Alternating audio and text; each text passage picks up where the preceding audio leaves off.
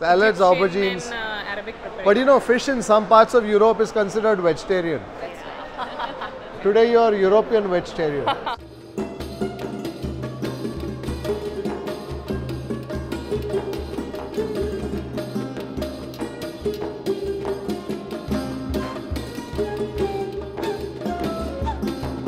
Mm, I love that sweet and sour of that Yeah, molasses, right? molasses the They look like puris, huh?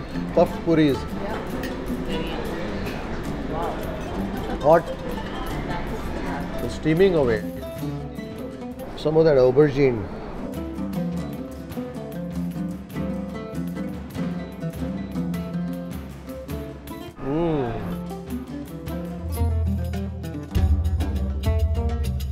All the food, not many spices or not like too much of flavor or not overcooking.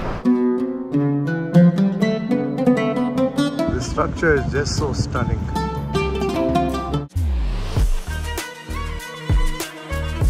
What's beautiful is the juxtaposition of the traditional and the modern, right? Yes.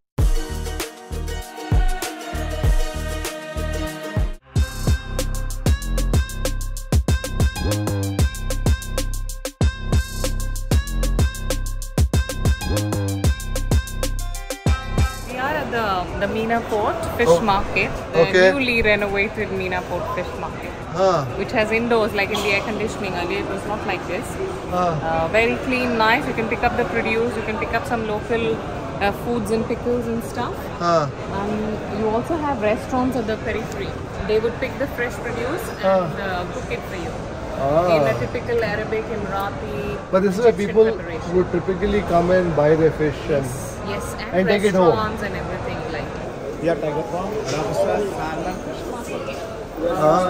Hello. You can pick the produce from here, whichever fish, Ah. whatever seafood you want. And you can give them for a kind of style of preparation. They will just make it and you can take it home. delivery. Ah, okay. Lovely. Coming what from all do you have from Oman? Yeah, it's a crab. Mud What? crab. That's a mud crab. Yeah, it's mud crab. See? Salmon is alive, still alive. See? Shark. Baby shark. Baby shark. Jaws. this is what uh, seer is it? Or Kingfish. Kingfish. Yeah, And this is just just local fish. Jess. All sea fish. Ah, sea fish. Alpha. Palm only this is sea bream, sea bass. These are all sea prawns or Sea prawns. Sherry. sherry. Sherry. Local fish. Local fish. Yeah. Sea bass. Sea bream. This one hamour. So that's the Al Shadar stall. And they've taken it a step beyond. They also have a restaurant there where you can uh, get this fish cooked. Yeah, yeah. So we go there. Yeah. Shri, ready for some fish? Yes. Yes? Yeah. Poor Shri.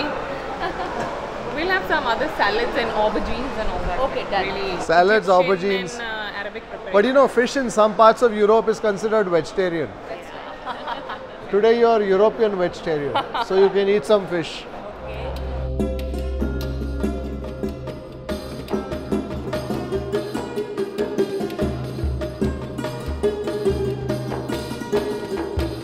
So which is the sea bream here?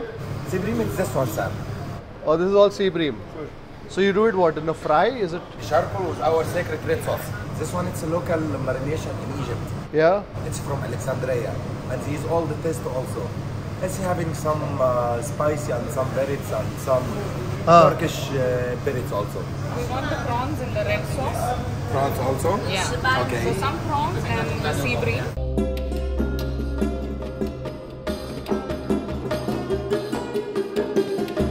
Fatouche, you must try this. The fatouche.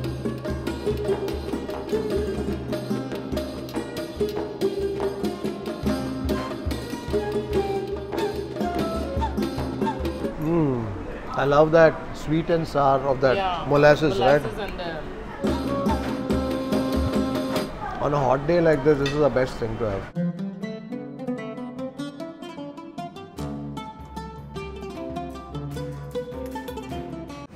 This is what? Aubergine. yes, aubergine in the famous Egyptian red sauce. See, for us Andhra people, right?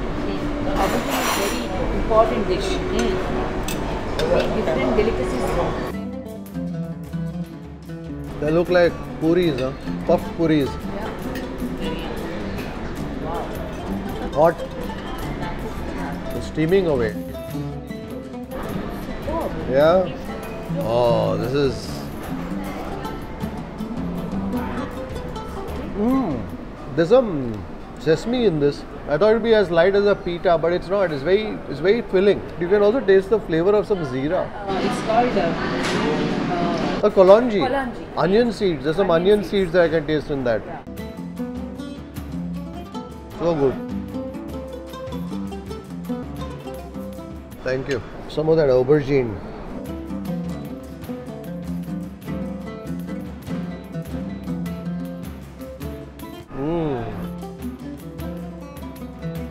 That is spicy. Yes, it is. so the Egyptian preparations Huh. are spicier. The, the Egyptian red sauce is pretty famous Yeah. and it's nice and spicy. I love the manner in which they cook their aubergine. It's very pulpy, very soft. Grilled, no? Grilled with a generous dab, a generous smear of that Egyptian red sauce. But inside the aubergine is quite uh, slight sweetishness to it, Yeah. right? And like there are not many spices in, inside, you know. Yeah. So it's just the natural flavor of the grill and the vegetable. That's it. Mm. The tahini is excellent. Tahini is basically sesame paste, right? Sesame paste. But there's also a bit of sourness, so there are Yeah. things that they add into that. just loving this food. Yeah. Superb. Thank you, Jyoti. Even without the fish, she's Yeah, enjoying the fatouche, Yeah. the aubergine in the red uh, Egyptian sauce, and the bread. Yeah, bread. And the salad is excellent. The bread is superb. Joey here is the one who loves the spice, so I'm going to let her enjoy most of the spice. Yes, thank you. Mm, it's not hot at all. It's like that bhaji. What is that? It's like that mirchi bhaji Mirchi from bhaji. Uttara Karnataka, but it's not spicy. Oh, but on the inside you can feel the heat. Of. Oh, yeah, after all, it is a chili. Oh, Really? initially I couldn't taste it as much, hmm. the first bite, but the second bite, now I can feel the spice. Oh, that is the Sea breed. sea bream. Wonderful.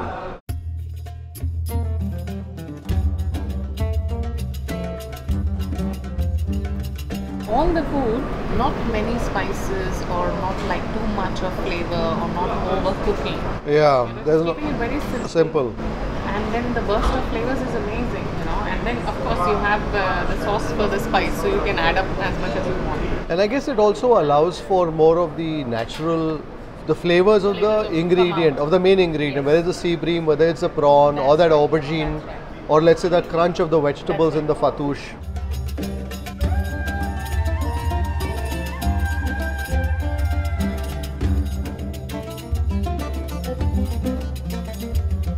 Plate loaded with all the things that I like to taste. So this is the Egyptian brown rice. Mm, it's quite smoky in its Yeah. flavor.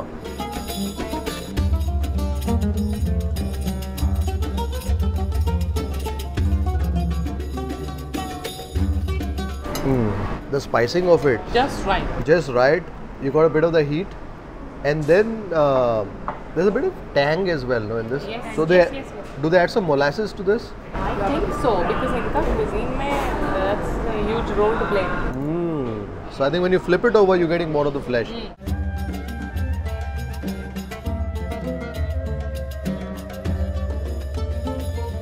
But I think most of that masala or that Egyptian paste is trapped on the bone. You'll have definitely pick through the bones that you find in this fish. In terms of texture, the sea bream almost is very similar to, let's say, black pomfret, I think. Yes. Hmm. See, sea bream I think is also closer to the sea bass. The sea bass is flakier. Exactly.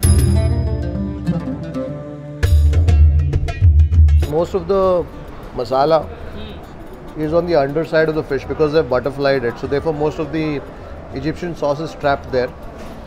But it's a little difficult to eat because you're picking through the bone all the time. So I flipped the fish to get more of that fleshy, its fleshiness with that skin, which has also been charred beautifully. I think for that you need some extra Egyptian sauce. Hmm. When you're tasting the sauce just by itself, when it's grilled, it has a nice roundedness. Yes. By itself, it does feel By a little sharp. incomplete. Yeah. Hmm.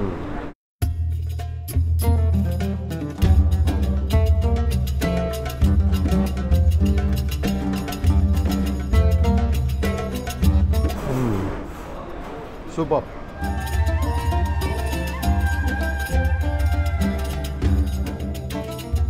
Love the heat of that marinade and that inherent natural freshness of that prawn. The sea bream is nice, but the prawn is spot on in its flavors. And because just me and Joe are eating the prawn, I think we've certainly have far more on our table than we can handle in one sitting. In one sitting.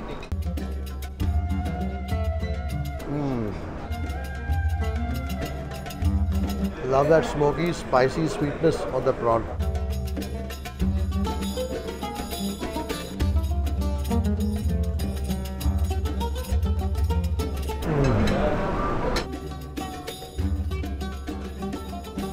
So if somebody wants to come here, they come to Al Shadar at Mina Market.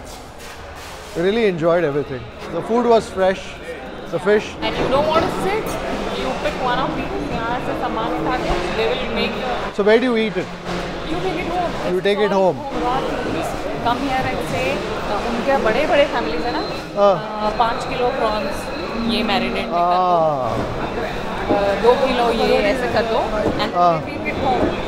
And we used to do it too. So great, uh, very local sort of an experience to try. Come to Meena Market, go to one of the any one of the fish stalls. You can buy your fish. You can give it to the shops there. They will cook it for you, but then you got to take it out and eat. Or better still, find a restaurant like we did. If you want to sit here and eat, well, Al Shadar they did a great job. Enjoyed almost everything that I tasted, including the vegetarian fatoush with the sweet, tangy flavor of the molasses, the pomegranate molasses, some veggies there. The bread was very nice too, with the onion seeds, with the kalonji and the sesame, and also the tahini. And between the sea bream and the prawn, my pick was the prawn. The sea bream is a nice fish, but definitely has plenty of bones. So if you're not used to eating too much bones, well, you got to watch. You got to be careful. Market timings Monday to Thursday, 8 a.m. to 9 p.m. And Friday to Sunday is when it gets busy from 8 a.m. to 10 p.m. I suppose. Sri is doing the smart things inside in the air condition, whereas we are soaking up the Abu Dhabi sun. Well, we're at the Louvre. Wow, this is surreal.